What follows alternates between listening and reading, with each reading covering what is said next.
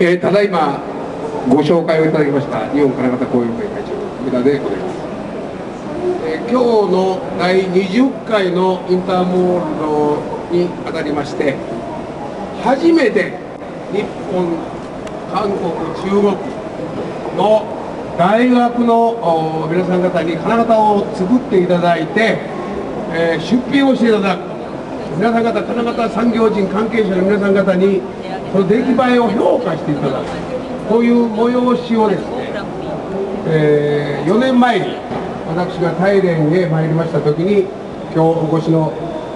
元大連市長の岐阜会に元あの市長さんに提案をさせていただきましたこれはいいアイデアだということで、えー、実施の運びになったわけですけども残念ながら日本には金型専門学科がまだ本格的にできておりませんで一部大学院の大学を持った学科を持ったところがありましたんですけどやっと昨年あたりから、まあ、製造できる能力が備わってきたということで日本は大後発のいわゆる金型学科であったわけで。ありしかし今回あの後からご覧いただいてもお分かりのようにですね、えー、日本からあの5大学韓国から3大学中国から2大学合計10校が参加をしていただいて同じテーマで金型を作って皆さん方に提示をしていただく。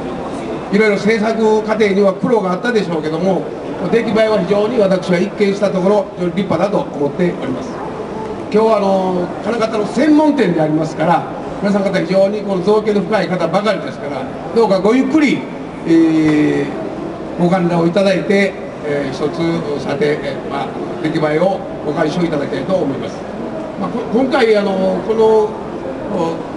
日中韓グランプリを開催するにあたりまして今日ご列席のの金型振興財団の江藤理事長さん。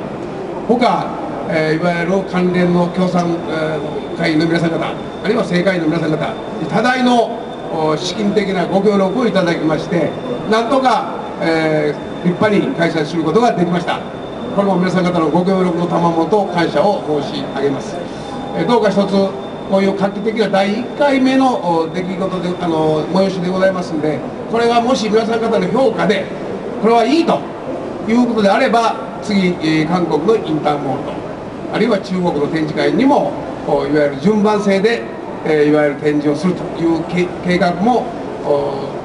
してはいかがなものかなと。いうふうに考えております。え非常に、え今日はあの天天候にも恵まれて多数早朝からご出席をいただいただきましたことを厚く御礼申し上げて私の挨拶に感謝しておりますありがとうございました